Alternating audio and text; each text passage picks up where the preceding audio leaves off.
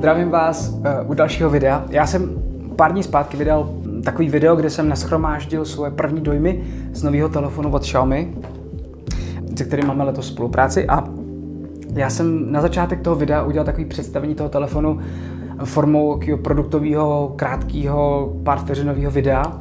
A zase jsem si připomněl, jak moc mě baví tyhle ty produktovky, tyhle ty, jako možná dá se říct, reklamy.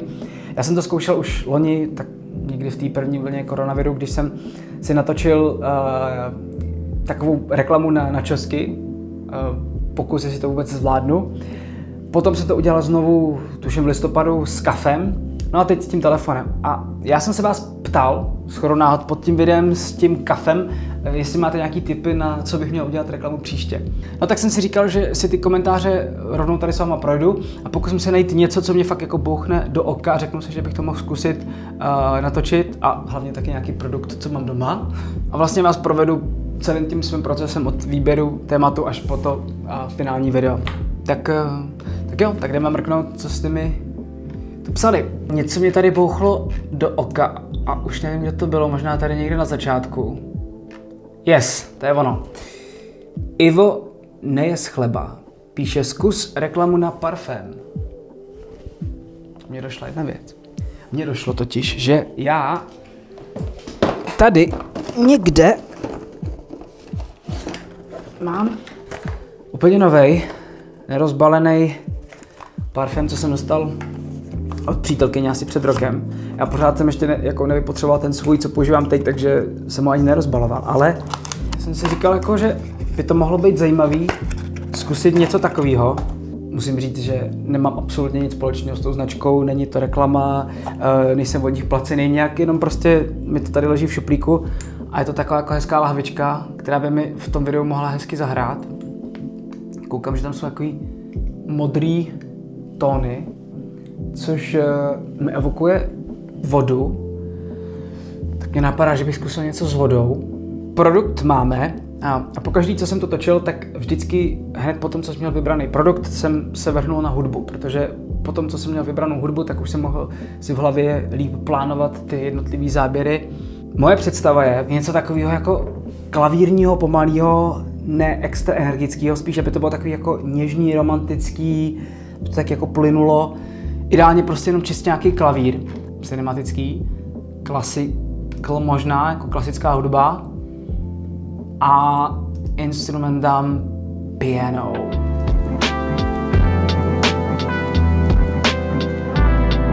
Díky tomu se mi to tak nějak jako v hlavě usměrnilo, protože už si to tak trošku jako vizualizuju. Eh, jak jsem říkal, že tady ve spodu to je modrý, tak eh, mně by se líbilo udělat něco s vodou.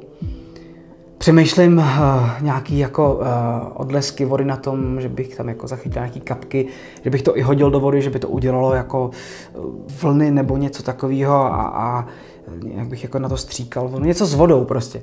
Úplně jako první natočím uh, záběr, kterým celý to video začne, kdy se ta lahvička poprvé odhalí. Jde o to, že bude tma a postupně světlem uh, se ta lahvička odhalí.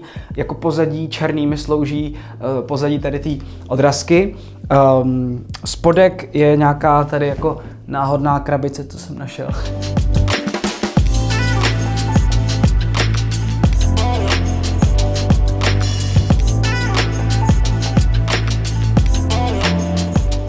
Teď bych chtěl natočit vodu.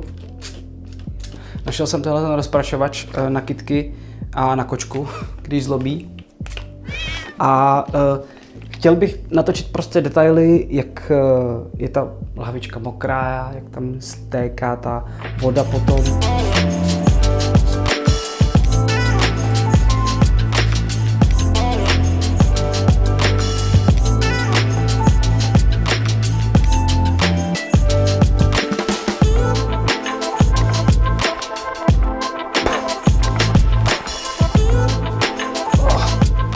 To točím trošku pátý přes devátý, ale teď, co bych chtěl natočit je, uh, mám tady stativ, na to jsem přidělal prostě nějaký držák starý na telefon, na to obou stranu izolepu, na kterou bych chtěl přilepit tu uh, lahvičku a potom s tím stativem budu otáčet a tím pádem si natočím takový hezký jakoby rotační záběry, který potom budu různě zoomovat, oddalovat, přibližovat.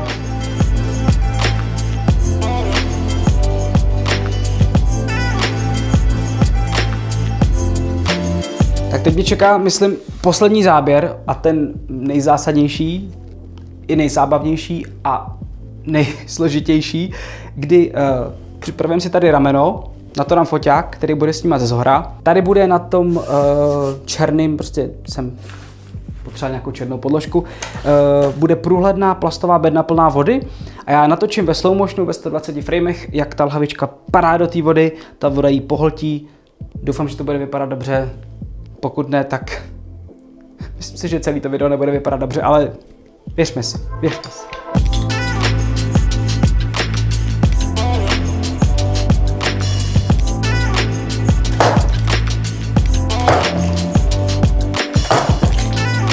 Tak a dost, konec. Už je to mokrý tady všechno. Tohle musí prostě stačit. Uh, jdu to všechno zbalit. Pro dnešek mi to už stačí a zítra se vrhnu na postprodukci. Ty úplně prvotní záběry, kde se ta hlavička odhalí světlem, byly v pohodě, tam jsem nic moc extra nedělal, jenom jsem odstranil, odmaskoval nějaký okraje nechtěný. Tady u toho záběru, kde se ta lahvička otáčí na stativu, tak eh, tam jsem nejdřív odmaskoval hm, ten spodek, právě ten stativ, potom jsem uh, upravil barvy, kdy vlastně šlo jenom o to ubrat černou, aby to celkově tak jako splynulo líp s tím pozadím, což jsem dělal vlastně jako u každého záběru. No a potom jsem vlastně jenom tu lahvičku naanimoval, aby se přibližovala a mírně uh, natáčela doprava. Tady ten záběr jsem vymyslel vlastně až u postprodukce, to jsem původně vůbec neměl v plánu. Uh, použil jsem na to úplně stejný záběr jako tady, akorát eh, jsem ho ještě víc pomalil. Jednoduše jsem nakopíroval několik těch lahviček pod sebe a potom jsem různě jenom upravoval eh, natočení, velikost a hlavně rozostření, aby to působilo opravdu jako záběr z kamery, kdy to, co je nejdál, je nejvíc rozostření a to, co je nejblíž, eh, je úplně zaostřený. Teď měl přijít ten záběr, kdy lahvička spadne do vody, šplouchne, který byl pro mě zásadní a u kterého jsem se tady pomalu vytopil půlku pokoje. Tak Tenhle záběr jsem ve výsledku vůbec nepoužil, protože prostě nevypadal dobře, nebyl absolutně použitelný.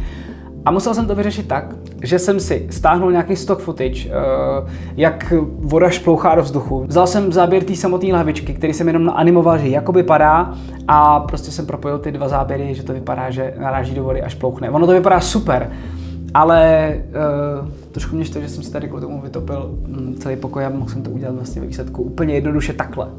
Tyhle detaily na mokrou lahavičku tam nebylo moc co řešit, prostě jsem vybral jenom nejlepší momenty, kde tekla ta kapka dolů, jenom jsem to ještě zpomalil, abych podpořil tu dramatičnost těch eh, kapiček stékajících. To bylo celý. Na konci jsem použil uh, tu hlavičku v celku, jenom jsem ji dost animoval, že se oddaluje pomalu a zase jsem tam přidal to rozostření objektivu kdy se na konci potom ještě eh, přidají nápisy. Já teď ještě doladím trošku eh, barvy, přidám zvukové efekty a vy se teď můžete podívat na to, jak vypadá finální výtvor. Tady je.